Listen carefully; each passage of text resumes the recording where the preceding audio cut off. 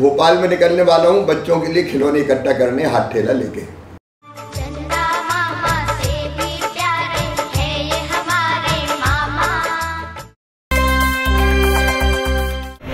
आपकी गली या मोहल्ले में ठेला लेकर खिलौने मांगते हुए शिव बाबू दिखे तो आश्चर्य मत करिएगा। क्या हुआ? सुनकर दिमाग घूम गया? अब भैया, भला एक मुख्यमंत्री हाथ ठेला लेकर खिलौने जैसी चीज़ माँगता फिरेगा? क्या बाबा, कुछ भी बात करते हो? लेकिन भैया, शिवराज जैसा मामा हो तो बच्चों की खुशियों के लिए, बोले तो हाथ ठेला लेकर खिलौने मांगने में भी कोई गुरेज नहीं। और यहाँ तो एक दो नहीं, बल्कि साहब, सैकड़ों बच्चों की बात है।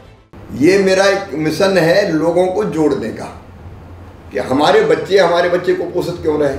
लाडली को स्नेह दिया सुरक्षित भविष्य भी। जरूरतमंद बच्चों को पोषण आहार भी। जब सब तो भला आंगनबाड़ियाँ मजबूर क्यों रहे? मज़बूत बने। बस यही प्रयास है।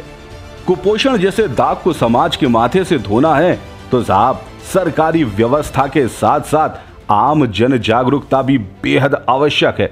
शिव बाबू का यह कदम भी जन जागरूकता की कड़ी में ही शामिल होता है।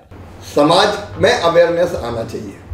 अब आप क्या सोच में पड़े आश्चर्य से बाहर आइए भैया और मिशन का हिस्सा बनिए। और आंगनवाड़ी में जिन चीज़ों की ज़रूरत है कई बार खिलौने की ज़रूरत है। मैंने तय किया है कि मैं भोपाल में खुद हाथ ठेला लेके निकलूँगा और कहूँगा बच्चों के लिए खिलौने दो।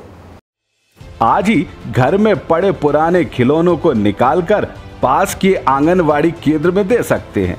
ताकि जो खुशी आपके बच्चे ने महसूस की है ना, वही सुखद एहसास दूसरे बच्चों के चेहरे पर भी देखा जा सके। तो चलिए, आज आप और हम भी मजबूर बच्चों के मामा बनकर क्यों ना अमूल्य खुशियाँ बटोर लें हम्म? प्यारे प्यारे मामा जी आप देखते रहिए न्यूज़ पुराण। यदि आपको ये वीडियो पसंद आए तो कृपया लाइक करें। सब्सक्राइब करें और बेल आइकन को ज़रूर क्लिक करें।